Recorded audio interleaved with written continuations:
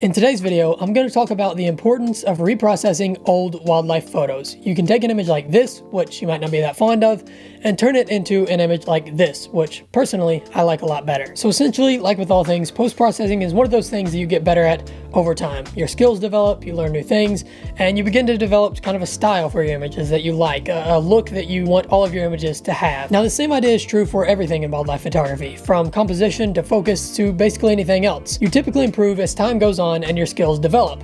But the difference with post-processing is that you can always go back and redo it. You can't go back in time and reshoot a photo for a better composition, or move to a better position for a better lighting angle now that you know more about lighting and images. You can't go back in time and redo that but you can always go back and reprocess your images. And I'm going to show you how reprocessing some of my images has really helped to turn photos that I wasn't so fond of into photos that I'm really happy to have in my portfolio today. So let's jump straight into it by first taking a look at this image that I took of a great gray owl in Yellowstone National Park. Now this image isn't necessarily a bad image. Um, I've got good focus on the owl there, got a nice blurred background, um, got a, generally a background that contrasts in color and makes the owl stand out some. And this was the first version of this image that I post-processed all the way back in May of 2021 when I first took the image and I just really felt like there were things that I can improve upon. So after about six or seven months last fall, um, you know, I'd improved a lot as a photographer and uh, my post-processing skills had developed in a lot of ways. And so I decided to go back in and reprocess this photo to see if I can make it better. And um, you can see here that I have the new version of this photo and I think that this is a much, much better version of the exact same file. And you can see that when you compare these two, despite the fact that they are the exact same file, they feel like two totally different images.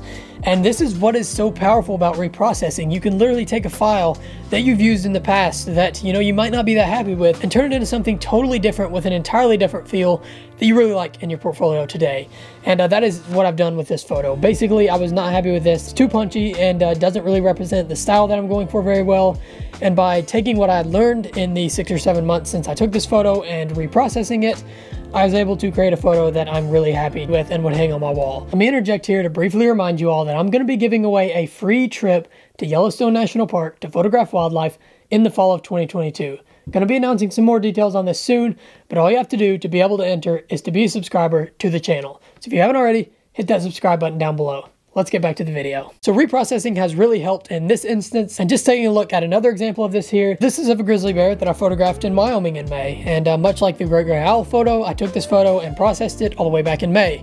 And um, while I love the photo, it just didn't really capture the feel that I was going for. It wasn't exactly what I wanted. And so about seven months later, I decided um, to take everything I'd learned since then about post-processing and about photography and to reprocess the photo. I was able to come out with this image, which I like so much better. Um, I've subdued a lot of those colors, those purple hues in it, made it feel a lot more realistic and just feel a lot better and softer on the eyes. And overall have created an image that I feel is a lot more appealing to the viewer.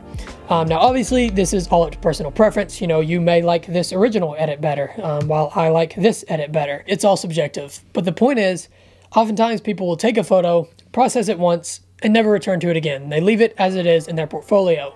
Um, say for example they got a photo of a great gray owl and uh, they processed it and they don't really like their old version. Instead of reprocessing the old version a lot of times people will go out and shoot an owl and just process it the way they like now.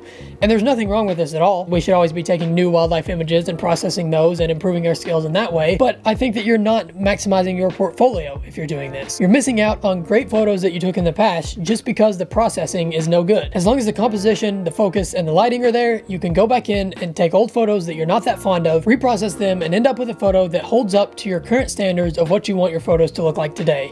You can take old photos and just breathe new life into them and create basically an entirely different photo with an entirely different feel and save old photos just by reprocessing. So that is the point of today's video. I just wanted to remind you guys to go back into your old files sometime whenever you get some free time on your hands, look over them, pick out your favorite ones and reprocess them. And I would almost guarantee that you'll find some photos in there that you weren't originally that fond of that now upon reprocessing them, you're pretty darn happy with. So pretty short video today, but before I close this out, I do want to remind you guys to subscribe for that 1000 subscriber Yellowstone trip giveaway.